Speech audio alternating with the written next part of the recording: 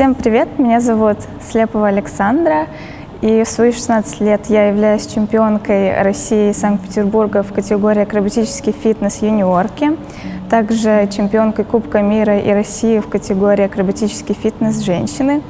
И за 2023 год я получила награду за первое место в мировом рейтинге в категории акробатический фитнес женщины. Сейчас я выступаю от команды Sport Life на соревнованиях. Вообще, как так получилось, что я оказалась в мире бодибилдинга. С самого детства я занимаюсь спортом. Сначала это были три года гимнастики с трех до шести лет, потом было немного плавания и восемь лет спортивных танцев. Это диско и хип-хоп.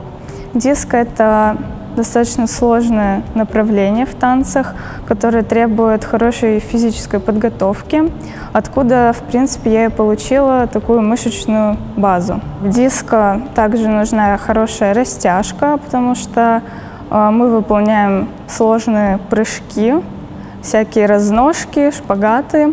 Одним как раз-таки из моих тренеров по спортивному диско была Юлия Плеснина, которая сейчас является также членом нашей команды э, Pro Athletes Factory Sport Life. Когда я уже начала задумываться об уходе с танцев, я видела, что Юля занимается акробатическим фитнесом. Она об этом много рассказывала на тренировках. Я ушла с танцев, и через 2-3 месяца мне написала Юля о том, что «Саша, не хочешь ли ты попробовать себя в акробатическом фитнесе, выйти весной 23 года?» Я не очень сильно хотела, но мама сказала, что нужно попробовать. Вот, так и получилось. Я попробовала, забрала золото в юниорках на России на Питере. И потом Марина Быченко забрала меня в команду, можно так сказать. Да, я подготовилась потом на осень, получается, с командой, и тоже забрала везде золото. А в общей сложности я занимаюсь бодибилдингом всего полтора года но уже забрала все золото в фитнесе. Акробатический фитнес включает в себя два раунда. Первое – это раунд произвольной программы, второй раунд позирования. Произвольная программа – это такой танцевальный акробатический номер, который ты готовишь заранее. А, в нем должны быть танцевальные какие-то элементы, а, переходящие в акробатику. До этого акробатикой я не занималась. То есть, э, в принципе, в моей произвольной программе нету каких-то очень сложных элементов. Э, сальто, бланш, этого не было. Э, за где-то, наверное, полгода я научилась делать фляки. И до этого у меня еще была база в виде маховых. На этом мы построили нашу произвольную программу, а перевороты, всякие колеса, это дала мне гимнастика еще в детстве. А, раунд позирования идет у нас как в бодифитнесе. Тут ничего нового.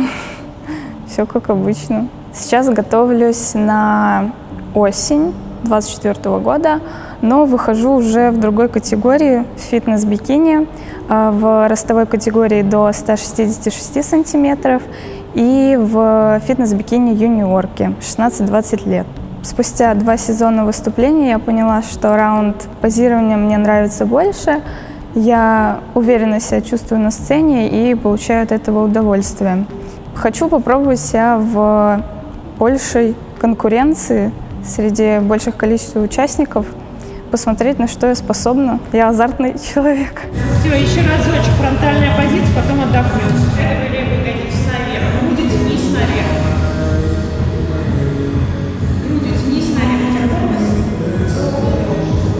Поставь ее чуть-чуть назад, да.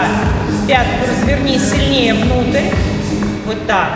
Позирование, кстати, несложно. Ну вот, как бы приемлемо. Если работать, то все получается. Ну, как мне кажется. На правой ноге прогибаться в пояснице, да, ты выворачиваешь квадры. Но таз чуть-чуть подаешь вот сюда, для того, чтобы ягодица у тебя была видна в фронтальной позиции. Поняла, да? То есть вот эта часть фронтальной позиции должна быть видна. Да, перенеси и дотяни. Дотяни ягодицу. Нет, таким же движением, которое я тебе показала. Ты знаешь, как оно делается? Показывай. Да, да, все верно.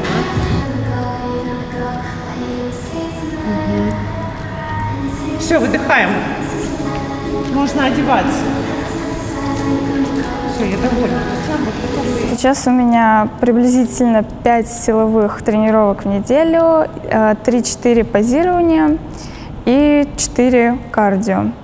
Э, занимаюсь я с командой Pro Athletes Factory, но в основном я люблю тренироваться одна, потому что так я больше сконцентрирована на упражнениях и также меньше людей в зале, и нужные мне тренажеры свободны. Э, расписание я также подстраиваюсь под нашу команду. Э, у нас расписана вся неделя, когда и во сколько и где у нас позирование и совместные силовые тренировки. Я уже под себя э, решаю, когда куда я пойду, э, сама на силовую, либо с командой. Но на позирование я, естественно, хожу к команде каждый раз. Растягиваешь, медленно опускаешься, медленно включаешься, а потом чуть-чуть побыстрее. Вывернутое бедро сделай мне, выверни квадру больше. Вот, конечно. Сколько сделала? Вообще бодибилдинг в раннем возрасте, в подростковом, я считаю, это не очень хорошая идея, потому что, считай, меня немножко так отрезали от детства, и очень быстро я вошла в эту взрослую достаточно жизнь, очень стала самостоятельной, хотя и так, и ответственная, самостоятельная была до этого, но сейчас еще больше, чувствую себя лет на 20-25. Как только я ушла с танцев, у меня отсеялись все мои друзья, кроме одного человека, с которым я дружу и по сей день. Вот, в команде в основном у нас сейчас все старше меня, лет на пять минимум. Поэтому друзей у меня здесь особо нету. Только один человек, который остался с танцевальной карьеры. С этим сложно вообще совмещать спорт, потому что бодибилдинг, он такой эгоистичный, одиночный, очень много времени уходит на себя. На других не хватает. Я и так гуляю с подругой, вот со своей единственной, раз в два-три месяца, наверное. Все. Я не успеваю, честно. Я не жалею, но хотелось бы делать какие-то перерывы, чтобы чувствовать себя хотя бы немножко ребенком все равно. Да. Да, таз ровный, небольшой прогиб у тебя остается, естественно. Убираешься лопатками и тазом.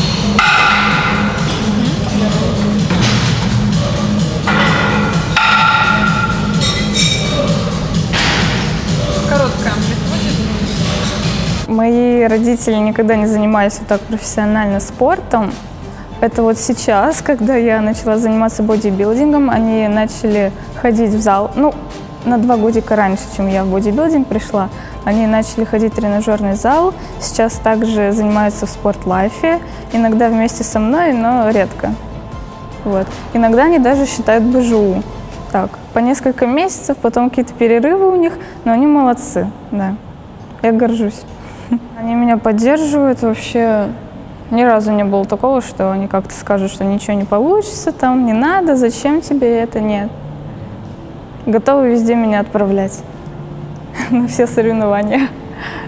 Победительница 35-го чемпионата России 2023 года в категории фитнес-юниорки становится номер 354 Александра Слепова, Санкт-Петербург.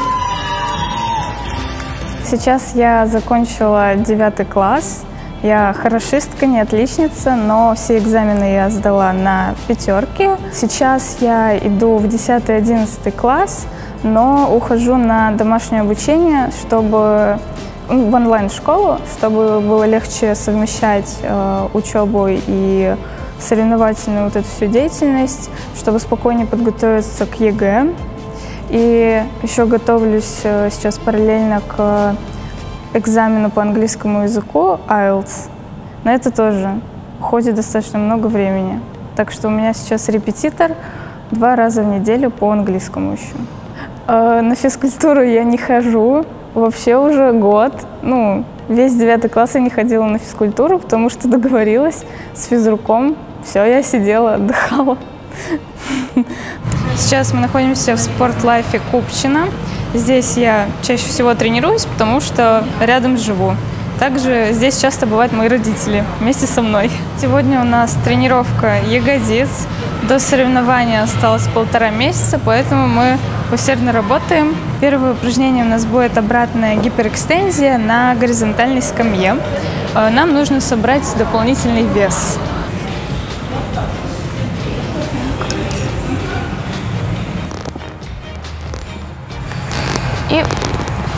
Начинаем упражнение с сокращения ягодиц.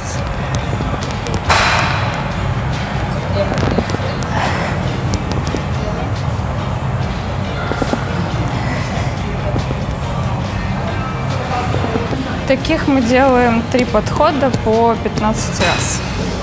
У меня по дням недели тренировки не расписаны.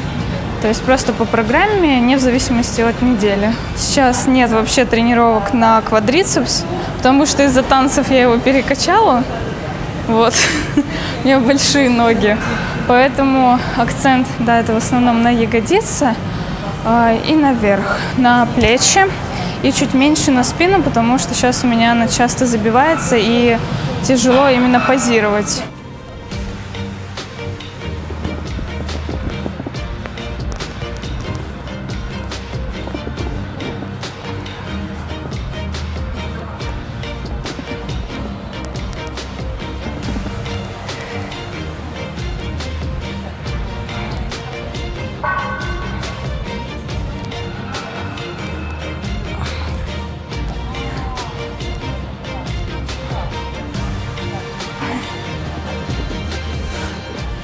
В основном я тренируюсь с музыкой, но с грустной. Я не люблю какой-то там панк, рок, что-то такое, вот это все нет.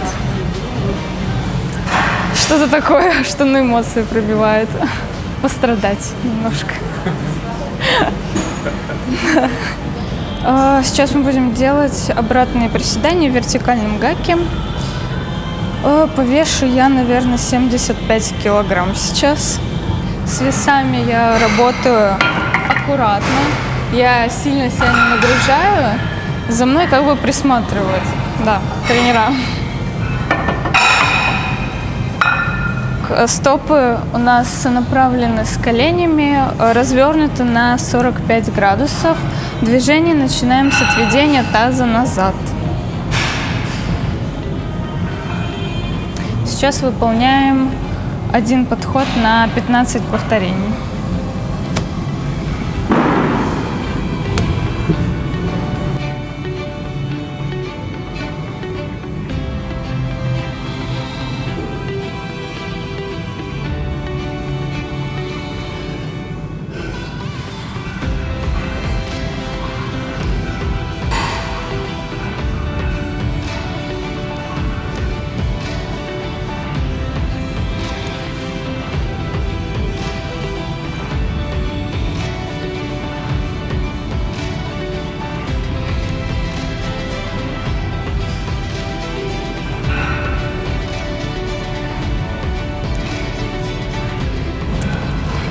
Сюда.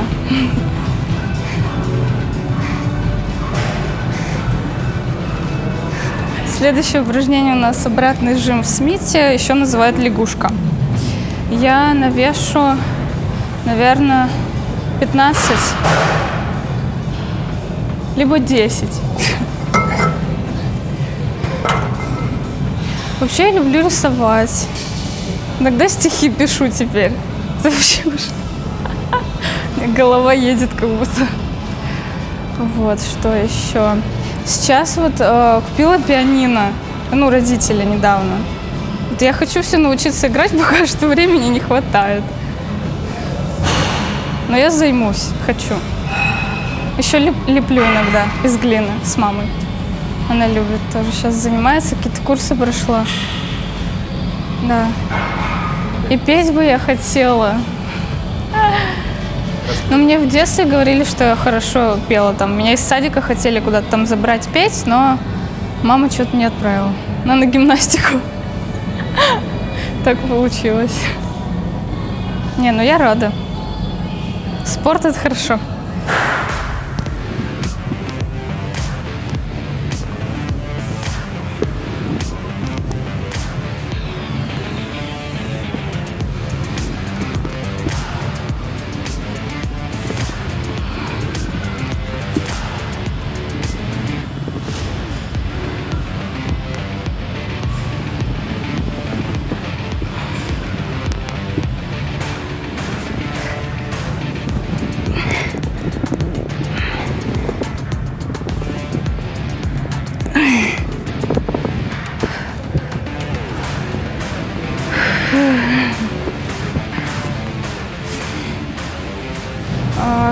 На соревнования все время ездит моя мама.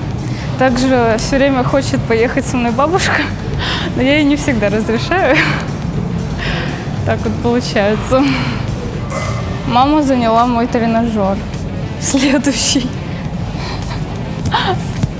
Ладно. Будем с ней делать, значит.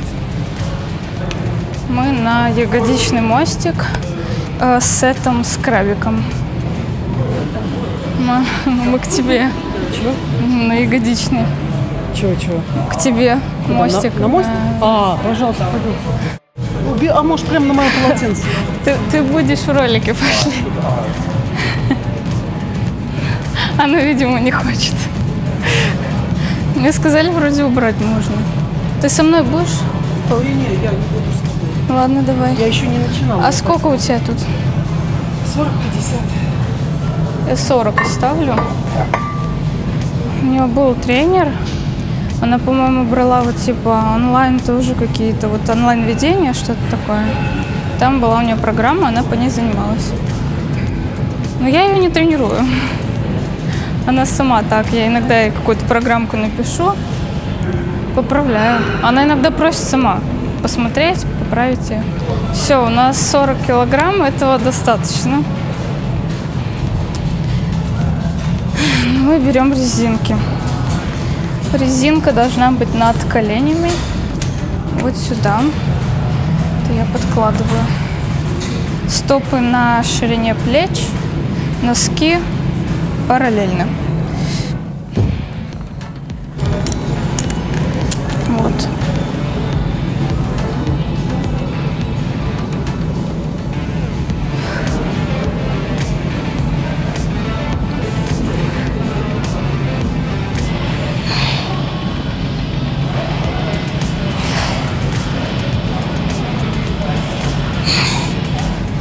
Отходи. Сразу же под колени и крабик 30 раз.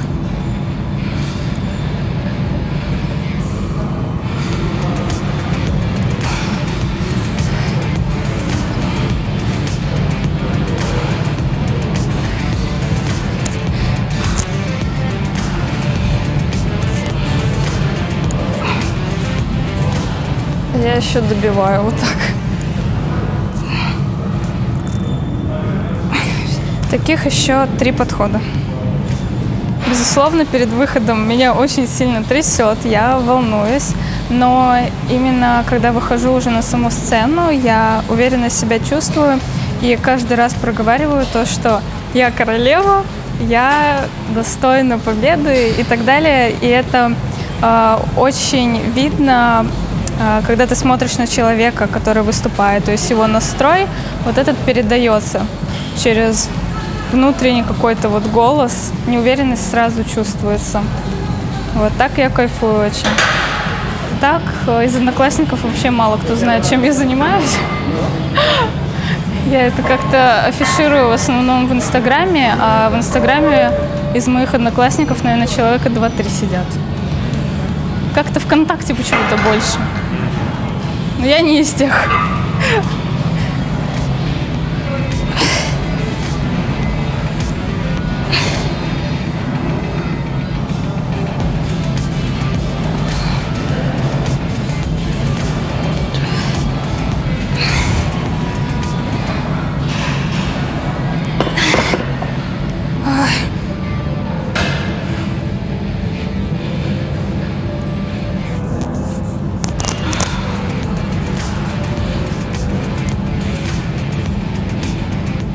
Делаем сет из разведения ног, 15 раз полулежа с плотно прижатой поясницей и 15 раз в наклоне.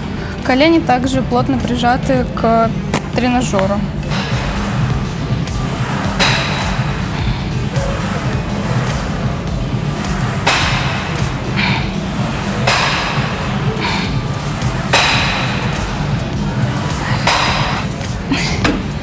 В наклоне.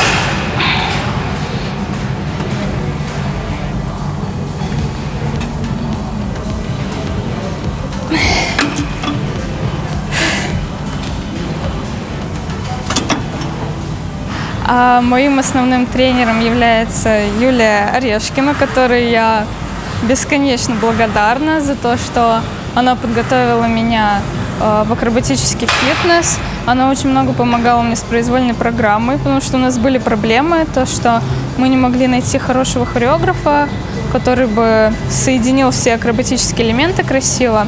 И вот мы с Юлей долго работали и наработали на золотые медали. Спасибо ей огромное.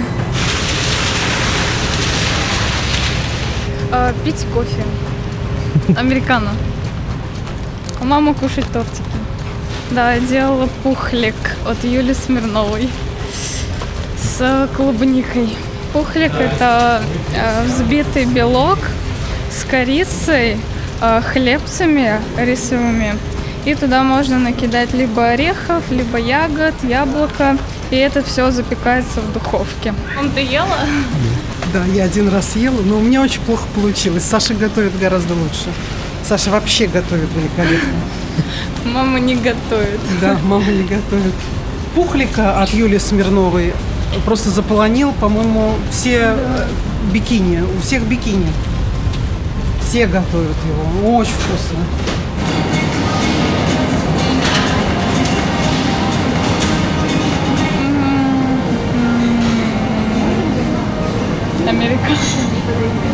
Мы пришли с мамой выпить кофе. Пью я сейчас только американо, потому что молочку мне нельзя. И, в принципе, даже в межсезонье я пью только американо, потому что неизвестно, какое молоко добавляют. Но если запариться, можно спросить и занести его. Но я не люблю париться в плане питания. А, Вот, сейчас, э, готовясь к фитнес-бикини, я поняла то, что разница питании на подготовке к акробатическому и бикини достаточно большая. Э, К примеру, перед выходом на чемпионат России в акробатическом фитнесе у меня было 240 углеводов. Если что, это достаточно много. Ну, кто знает, тот поймет. И в плане продуктовой корзины э, сейчас у меня достаточно она узенькая, маленькая. Мы убрали макароны, убрали овсянку, арахисовую пасту. А, В общем, много ограничений, о которых не было в акробатическом фитнесе. Также в межсезонье у меня читмилы есть. а, Приблизительно раз в 2-3 недели по согласованию с тренером. Вот, и за все полтора года у меня не было ни одного срыва в питании.